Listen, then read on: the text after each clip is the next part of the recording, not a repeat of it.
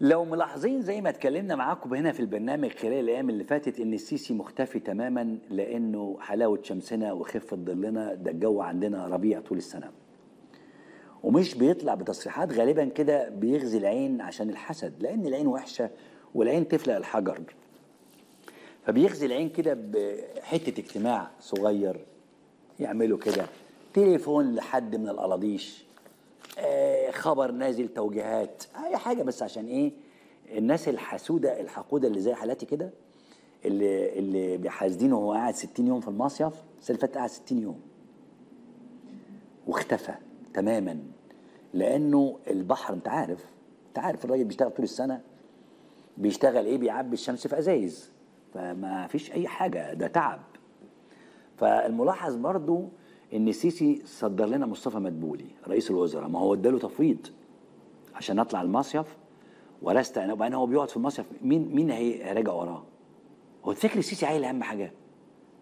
لا خالص دلوقتي زمانه قاعد دلوقتي بلالين بقى وبومب وضرب وبتاع واحتفالات في العالمي العالمين الدنيا تمام يعني كل شوية مصطفى مدبولي يطلع يعمل مؤتمر صحفي منين؟ من مدينة العالمين برضه اللي بقت المقر الصيفي لحكم السيسي ووزرائه النهارده سي مدبولي طلع قال شوية تصريحات لوز العنب. بس الحقيقة تصريحات مقلقة شوية. وتحرك لك أو تعرفك الوضع البوهيمي الكارثي اللي ملوش ملامح اللي إحنا عايشين فيه. وتقول للبهايم اللي لسه عندهم أمل وعمر إن المستقبل غامض. والبلد داخلة على نفق أسود. مش أنا اللي هقول. أنا عايز أقول لك تعال خد أقول لك خد أقول لك. انت أمك لما كنت تيجي تقول لها أنا عايز فلوس الدرس كانت تقول لك إيه؟ معيناش يا ابني والله ده إحنا النهارده معانا بكرة مش ضامنين. فاكر الجملة دي؟ بذمتك ودينك أمك ما قالتها لكش أبوك ما قالها لكش عمك ما قالهالكش ما قالكش إحنا مش ضامنين بكرة في إيه؟ صح؟ الجملة دي هي عنوان الفقر. تخيل الجملة دي تطلع بقى مش من أبوك ولا أمك ولا من عمك تطلع من رئيس الوزراء. رئيس الحكومة مصطفى بيقول يصارح المواطنين. إحنا مش ضامنين بكرة يحصل إيه. إيه الله الله الله شاويلوك الهام يا دارش بدري. حدة وتعقيد المشهد السياسي في الشرق الأوسط يتصاعد. وارد وارد تحصل صدمات أخرى تؤدي إلى العديد من المشاكل والتعقيدات أو المشاكل. كلنا في حالة عدم عدم يقين من تطورات الأزمة والأمر. حد عاش عارف بكرة يحصل إيه. التطورات وردود الفعل المحتملة وتداعيات على تداعيات ذلك على المنطقة. نتخوف من اتساع النزاع والصراع على مستوى أكبر. أقسم بالله العظيم ربنا هيحاسبني على الكلمتين اللي هقولهم دول. أنا متأكد إن مصطفى مدبولي والسيسي دايرين يدعوا ربنا ويولعوا شمع مقام الست أم هاشم عشان يحصل حاجة في المجتمع في في الدنيا. عارف ليه؟ عشان يعلقوا عليها الفشل. يكش ربنا يبتلي المنطقة بمصيبة دي يا مصطفى تبقى لوز العنب. مصطفى يقول له أيوه حاجة كده زي كورونا حاجة كده زي حرب غزة. نعلق بقى عليها. آه نسيت أقول لك يا مصطفى ابعت أشكر الجماعة الحوثيين ليه يا ريس؟ ما هم عطلوا الملاحة فاحنا معلقين بقى على إنه البتاع انخفض وارد قناة السويس انخفض. اما ليه شغل دماغك يا مصطفى. شغل دماغك. اشكر لنا الجماعة الحوثيين قوي ادعي ربنا بس وخلي الست الوالدة الحاجة تدعي إن تحصل مشكلة زلزال حرب إقليمية آه، وباء عالمي. عشان بس إيه؟ نلاقي أي حاجة نتدارى وراها. الأخ مصطفى؟ قاعد يقول لك إحنا مش عارفين بكرة في إيه. يعني من الآخر كده حضرات مصطفى بيقول لكم استعدوا للأسوأ اللي قادم. إحنا ما نعرفش بكرة في إيه. إحنا مش مغسلين وضامنين جنة. بالله عليك عمرك سمعتها من حد جاي يشتغل؟ وما أنا جايبك ليه؟ ما أنا جايبك عشان حضرتك تحط خطط وتحط دراسات وتحط آه، آه، خطط لما قد يحدث. ما هي دي شغلة الدول على فكرة. يعني إنك أنت تتحول لخالة الحاجة دي مش شغلتك دي شغلة خالة الحاجة. فسيب خالة الحاجة فيها. إنما شغلتك أنت أنت جاي المكان ده اشتغلي إيه؟ أنت جاي اشتغلي تحط ده خطط. ماذا لو حصل كذا؟ يا راجل ده المبنى اللي إحنا فيه ده كنت أنا على الهوا من كام شهر كده وضرب صفارة الإنذار. حريقة؟ قال لك لا ده بيعملوا بروفا. ليه؟ عشان لو حصلت حريقة. ضرب الإنذار على الهوا والناس سمعته. نزلنا تعال قال لك الناس كلها في الشارع. ليه يا جماعة؟ في حاجة يعني. قال لا دي بروفا كده عشان إيه؟ لو حصل حريقة يعملوا إخلاء سريع. هي دي شغلة الناس اللي بتيجي تولي المسؤوليات. إن أنت بتحط خطط لما قد يحدث. ممكن تحصل أزمة عالمية. البورصات تقع. آه، العقارات تقع. مش عارف إيه يقع. وباء عالمي. فحضرتك جاي تعمل كده بقى. إنما إحنا دولة عايمة على وش المية. اتدلع يا رشيدي على وش المية سيب شعري وامسك ايدي. أنا ما أعرفش إيه اللي خلاه ماسك شعرها. واحد ماشي مع واحد يمسك شعرها ليه؟ قالت له كده اتدلع يا رشيدي على وش المية سيب شعري وامسك ايدي على وش المية برضه. قال وانتوا نازلين ليه المية؟ ما تمشوا في البر. لا خطط ولا دراسات ولا نعرف أي حاجة. إن إدارة الدول عشان يديرها ناس زي السيسي كده ومدبولي شلة العسكر ملهاش غير إيه؟ إحنا مش ضامنين بكرة في إيه. إحنا جمهورية من جمهوريات الموز يا حضرات. إحنا مش بنتعلم من أخطائنا وبنكررها تاني هي هي. مش مرة مرة وأربعة وخمسة.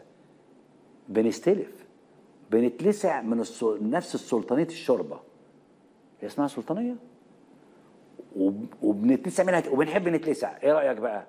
على رأي سعيد صالح اشده يلسعني. يعني لما رئيس الوزراء يطلع يقول في مؤتمر صحفي إن سعر الدولار ارتفع بسبب خروج الأموال الساخنة يوم الاثنين اللي فات اللي أطلقوا عليه الاثنين الأسود بسبب إن في أزمة مالية عالمية. فالناس اللي كانت عندنا أموال ليها سخنة سحبتها. فيطلع يقول لك إن ارتفاع الدولار في مصر سببه خروج بعض الأموال الساخنة. اسمع. الأموال اللي خرجت تم إتاحتها من السوق ومن السيولة الموجودة بعيدا تماما عن الاحتياطيات الخاصة بالبنك المركزي. فبالتالي طبقا للعرض والطلب الرقم زاد وإحنا ما عندناش أي تخوف من هذا الموضوع فحصلت بعض الزيادات اللي موجودة حصلت في سعر صرف الدولار. لو المصحف ما ده الكلام اللي قلناه بالظبط إن أنتوا رجعتوا للأموال الساخن تاني. وإن كلام محمد معيط ولا أحمد معيط الأولاني وزير المالية اللي قال لك اتعلمنا الدرس كلام فارغ. قال لك اتعلمنا الدرس ثلاث مرات. جه وزير مالية جديد بيعمل نفس الدرس. وده اللي قاله الدكتور محمود وهبة لما كان معانا. قال إن في أموال ساخنة لسه موجودة في مصر. حسب بعد التقارير أنت أخدت اوريدي 35 دلوقتي وأنا بكلمك. آه. عندك في البلد؟ 35 مليار دولار مال ساخن؟ وفي بعض الأرقام إنه 55 مليار دولار مال ساخن ودول اللي جايين ياخدوا فايدة ويخرجوا. دول بياخدوا فايدة فاحشة. يعني كلمة الربا ديت يعرفها أي حد متخصص. إنما فايدة غير معقولة من أعلى الفوائد في العالم. وده اللي قال عنه وزير المالية مش هنلعب في الفايدة مش هنلعب في الأموال الساخنة تاني وإحنا اتعلمنا الدرس. وزير المالية قال الكلام ده وبعدين مباشرة لو انت لاحظت اتغير محافظ البنك المركزي. محافظ البنك المركزي اللي جه من سنتين ده لم يتخذ قرارا واحدا بدون ما يشيل عينه عن موضوع المال الساخن. بالنسبة لي المال الساخن هو الهدف الأساسي ونظم البلد في كل أحوالها عشان المال الساخن. بينما وزير المالية اعترض إنما ما ما ما ملوش صوت.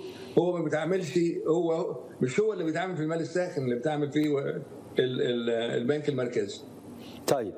قال لك أنا ضربت أربع وزير المالية قال أنا ضربت أربع اتعلمت أربع مرات آم آم إن أنا لا أعتمد على المال الساخن. هتلاقي الفيديو بيبو هتلاقي الفيديو ده موجود بتاع وزير المالية وهو بيقول إحنا اتعلمنا من كان مع عمرو أديب.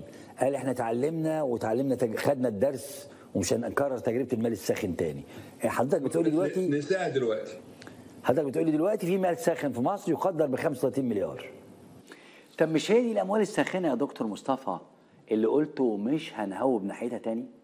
وقلتوا إحنا اتعلمنا الدرس ومش هنعمل الغلطة دي تاني؟ إيه اللي رجعكم تعملوها وتعملوها للمرة الخامسة؟ عشان كده الجنيه راح في الوباء. يعني راح. فانتظروا الأيام الجاية الدولار يعلى أكتر وأكتر. في ناس منتظرة كده في ناس بتقول كده. الجنيه سعر الدولار النهارده في العقود الآجلة بقى سعره 58 جنيه. في العقود الآجلة الدولار يتخطى ال 58 جنيه. في العقود الآجلة أجل عام. يعني الناس اللي عاملة عقود دلوقتي تستحق, بعد سنة حاسبه الدولار على 58 أهو مش أنا.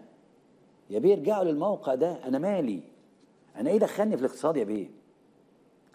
برضه أسعار الذهب زادت برضه بعد ما زاد سعر الدولار. زي ما بيقول الخبر أهو ارتفاع ملحوظ لأسعار الذهب في مصر وعيار 21 يصل. والنبي يقول لي كده وصل لكام؟ أنا الراجل بتاع الذهب بطل يبعت لي ربنا يستر عليه. آه.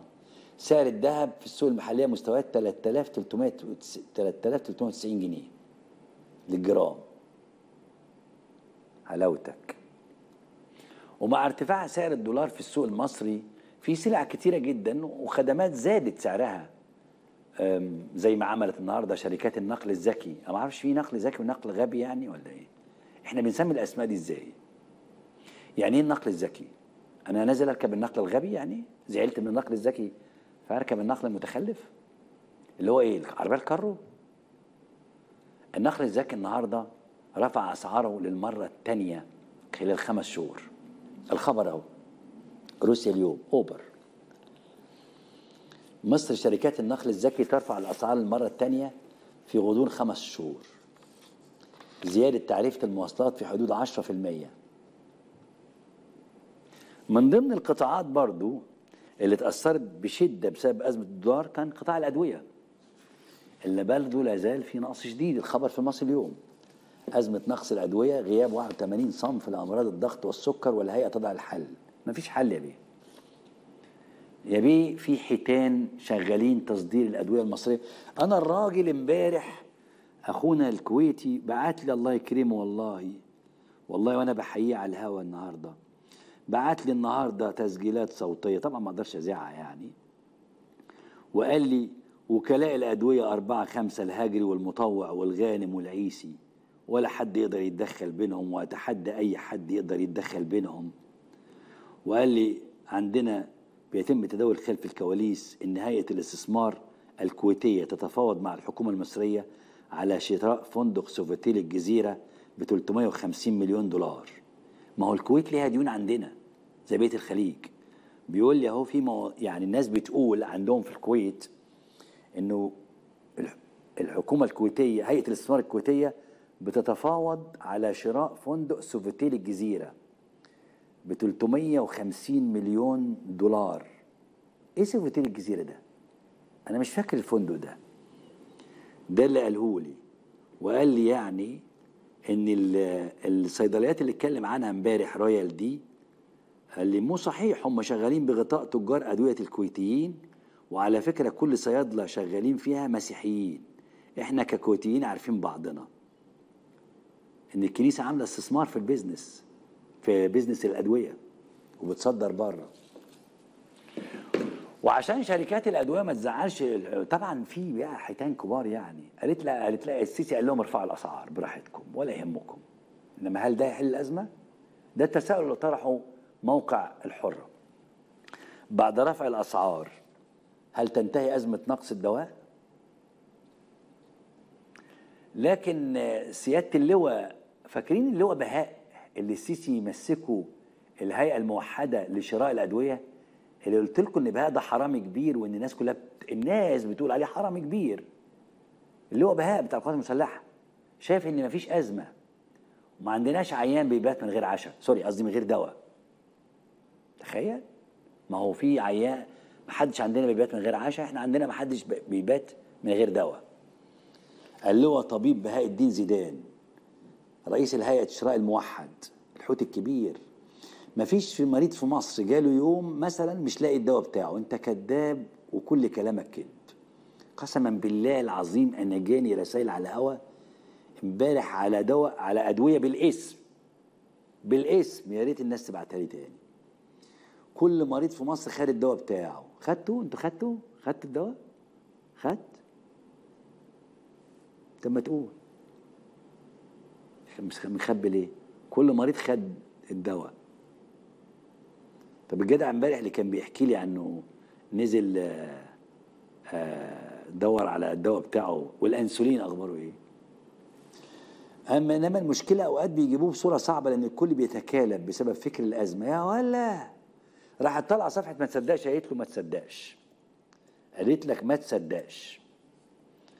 يعني انت كذاب ونص كلامك كذب.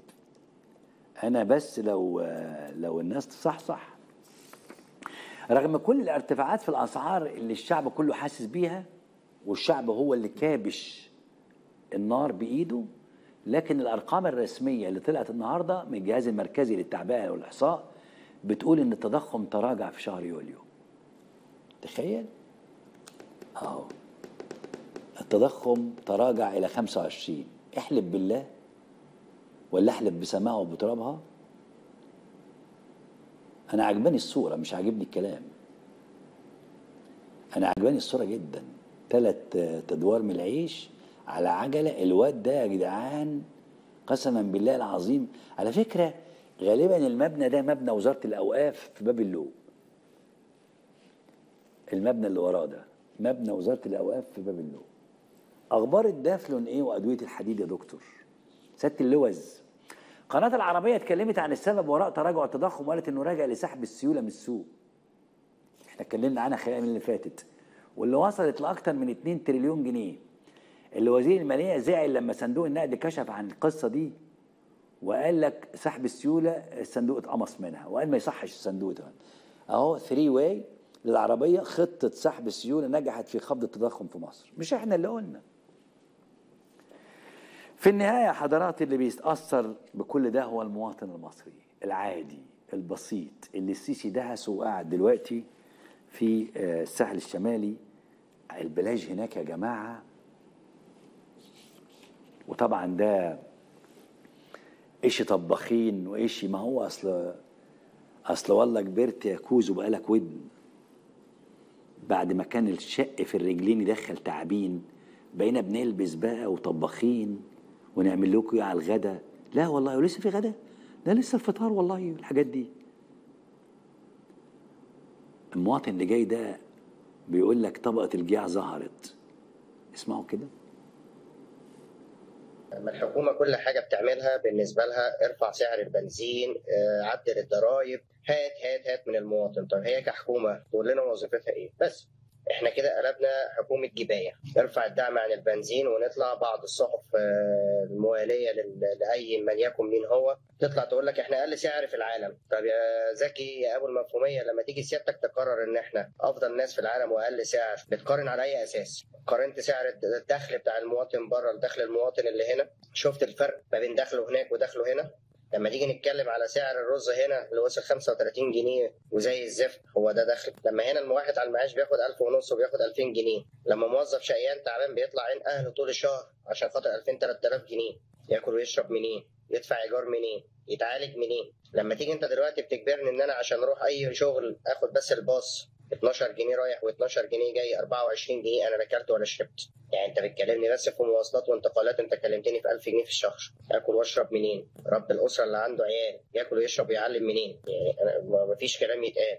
طب الناس تعمل إيه؟ قسما بالله الناس بقت ماشية بتكلم نفسها في الشارع. الناس مش عارفة تعمل إيه؟ ياكل ويشرب ولا يعالج ولا يدفع إيجار سكن ولا يدفع كهرباء اللي زادت ولا يدفع مية اللي زادت ولا يدفع غاز اللي زاد ولا يروح شغله. يعمل إيه؟ وبعد كده نشتكي ارتفاع نسبة البلطجة ارتفاع نسبة معدل الجريمة هو ده من إيه؟ هو للدرجة دي إحنا فشله في كل شيء؟ هو للدرجة دي إحنا ما بنعرفش نعمل أي حاجة في البلد؟ مفيش وزير واحد ربنا كرمه قدر يطلع علينا بأي فكرة للتطوير؟ يعني أنا مش فاهم والله العظيم أنا ما بقيت فاهم ولا الناس بقت فاهمة حاجة إحنا كده بقينا طبقه الجياع تقول لها فاكتر الناس الناس طفح بيها الجيل وهو قاعد في الساحل الشمالي وهو هناك في العالي على رأي الست شادية مع صلاح الفقار. هناك العالي أي مكان صحراء كان أو بستان.